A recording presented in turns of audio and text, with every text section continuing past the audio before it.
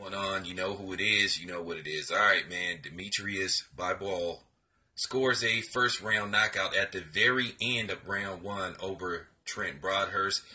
Uh, I got to give uh, Bivol credit. He has a nice stiff jab. Basically, what happened was he walked him down. Um, he used his jab, and at the end of the of the round, he used the lead right. He put him down, and he didn't get up, and that was pretty much the end of the fight. You know, this fight ended in one round, so it's not really much of an assessment you can make of this dude. I mean, he has power, and of course, HBO went into their Eastern European fighter is the greatest thing since sliced bread. I see they still haven't learned their lesson. I mean, we got to see more of this dude before we start putting him in the greatest of all time category. They got to stop doing this shit because it gets nerve wracking after a while.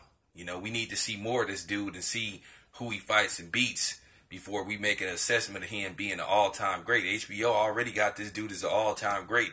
I mean, yeah, he has power. He has he has some some decent speed, but come on, man, let's just stop the shit. Now we already know what's gonna happen with this guy. Certain people are gonna align themselves with this guy just for the hell of it. But he's he's he seems to be solid, but we need to see more of this dude.